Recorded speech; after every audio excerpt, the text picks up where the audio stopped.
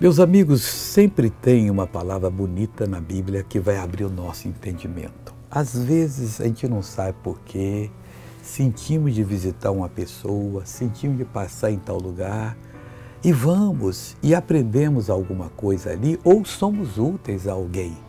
Diz a palavra de Deus em João 4, versículo 4, que, eh, falando de Jesus, que ia para Galiléia deixando a Judéia e era-lhe necessário passar por Samaria. E Jesus foi. E foi ali que ele assentou-se à beira do poço Jacó, meio-dia, porque tinha um propósito de Deus, a mulher veio pegar água, que era a mulher que tinha a vida errada. E Jesus a evangelizou, Jesus pôs ali para todo mundo ver o que aconteceu.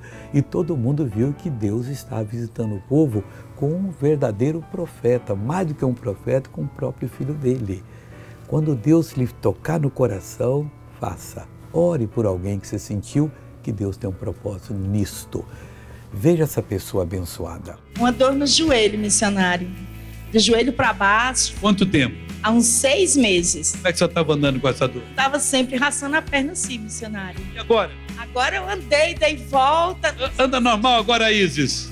Olha aí, pessoal, voltou à normalidade. Palmas para Jesus. Pai, eu agora quero orar por essa vida que talvez seja uma pessoa cheia de dúvidas, de perguntas, e que diz: Deus, eu preciso conhecer a verdade. Ajude-a a examinar a doutrina de Jesus, o Evangelho, e vai ver que o Evangelho é a tua vontade.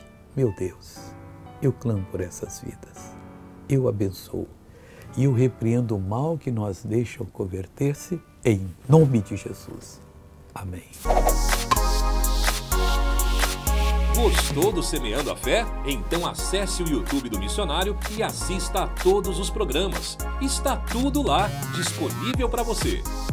E se quiser assistir em primeira mão a qualquer mensagem do missionário, inscreva-se no canal e não se esqueça de ativar o sininho.